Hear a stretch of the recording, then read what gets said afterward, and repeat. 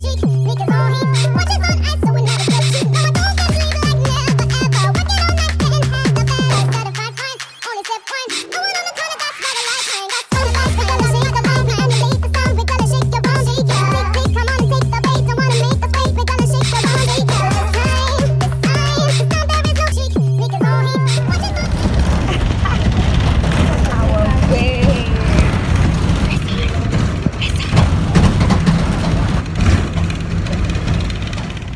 The government won't see him unless he renounces violence.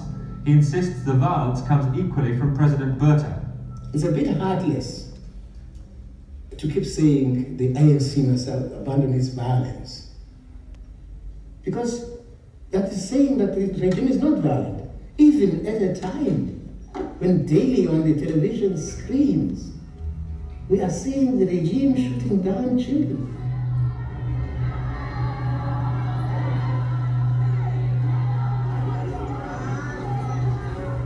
She was considered one of the most senior commanders of Umkhonto weSizwe. She and Chris Hani worked closely together and that relationship grew over the period of the 80s.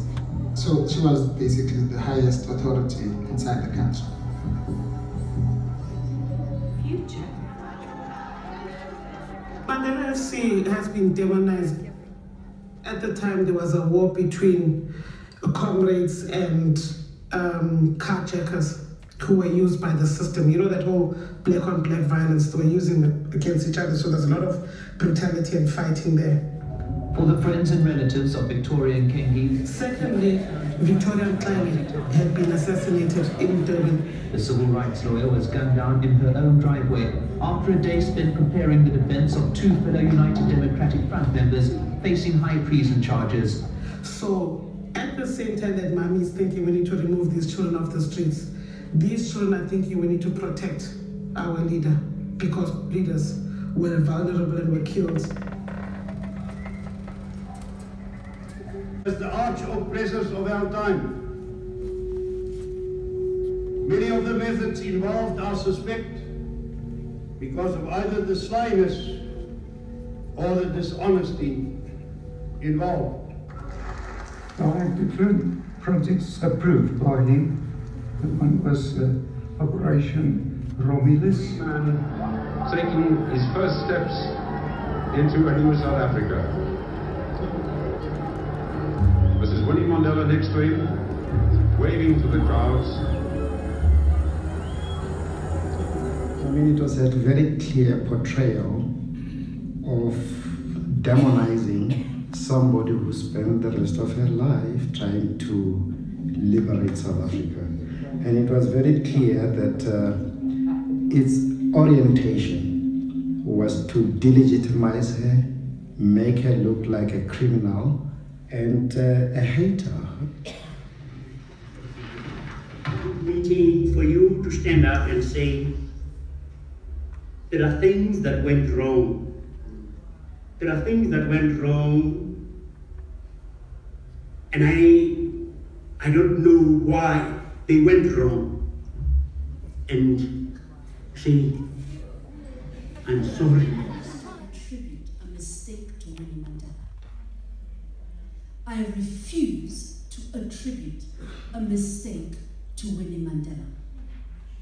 Winston Churchill starved 4 million Bengali Indians. Oops. His bust was in the White House. Oops. And yet, he stands and his memory stands tall as a liberator in the Second World War. One boy who it turned out she did not kill. Get that somewhere, somewhere inside there. That all the evidence, once you have read it, and this is me putting my lawyer hat on, cannot conclusively, without the shadow of a doubt, or even reasonable doubt, put that death on that woman. Why we still refer to her in relation to this boy is the triumph of media and propaganda. Four million Bengali Indians one 14 year old boy killed by a police informant. Do the math. so let's come back to the feminist question. Julius Malema, in his very now infamous. Give us the same, no?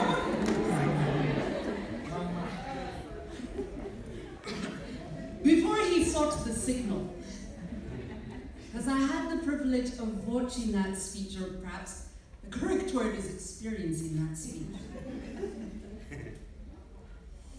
said at some point, when he started pointing out to the various people who were in the room or who were in the stadium, said to the e- EFF, don't you dare treat our women like the ANC treats their women.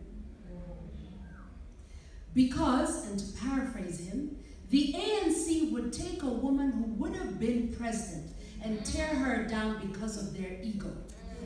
We will produce the first female president so that the entirety of the world can recognize that we see the contribution of women. Had Winnie Mandela been a woman, they would have celebrated not just Stompie Seipei, but everyone who had been necklaced at that time.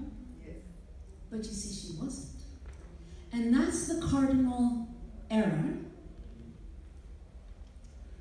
of genetics as we have allowed it.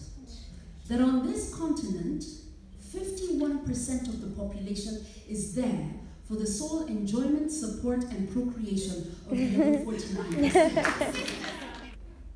See, we finished that argument. that argument is only ever used against women.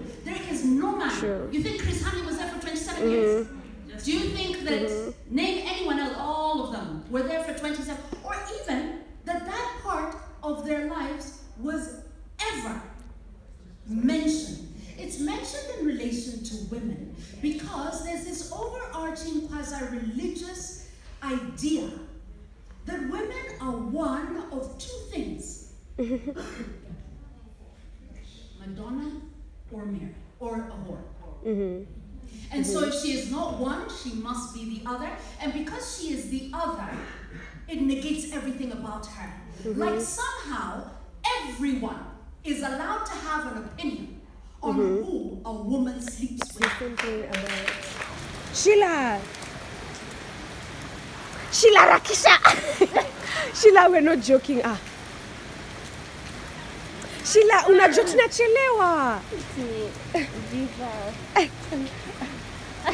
Wow, amerudi.